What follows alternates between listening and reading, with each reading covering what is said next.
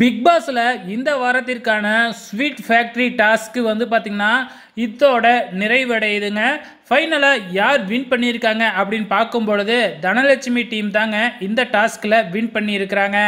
கடைசியாக நடந்த கேக் டாஸ்கில் கூட வந்து தனலட்சுமி டீம் தான் வின் பண்ணியிருக்கிறாங்க. ஸோ இதில் வந்து பார்த்திங்கன்னா விக்ரமன் வந்து ரொம்பவுமே ஆர்கியூ பண்ணார். விக்ரம் சைடு நிறைய தப்பு இருக்குது அதே டைமில் இந்த டாஸ்க்கை வின் பண்ணதுனால அடுத்த வாரம் எவிக்ஷன் ப்ராசஸ்லேருந்து கண்டிப்பாக தனலட்சுமி சேவ் ஆகிடுவாங்க இந்த வாரமும் வந்து தனலட்சுமி எவிக்ஷனில் இருந்தாலும் சேவ் பண்ணிவிடுவாங்க அப்படிங்கிறது நல்லாவே தெரியும். அதே மாதிரி அடுத்த வாரம் எவிக்ஷன் ப்ராசஸ்க்கே போக மாட்டாங்க.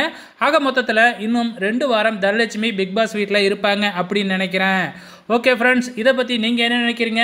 பெஸ்ட் பெர்ஃபார்மராக யார் வருவாங்க? கண்டிப்பாக ரச்சிதா வர்றதுக்கு அதிகப்படியான வாய்ப்புகள் இருக்குது ஸோ ரச்சிதா வந்து எவிக்ஷன் ப்ராசஸுக்கு போனாலும் சேவ் ஆகிடுவாங்க அப்படிங்கிறது நல்லாவே தெரியும். ஸோ ஒரு பெர்ஃபார்மர் வந்து பார்த்தீங்கன்னா ரச்சிதா இன்னொரு பெர்ஃபார்மர் யாராக இருக்கக்கூடும்னு நீங்கள் நினைக்கிறீங்க? மறக்காமல் இந்த வீடியோ கீழே கமெண்ட் பண்ணுங்கள்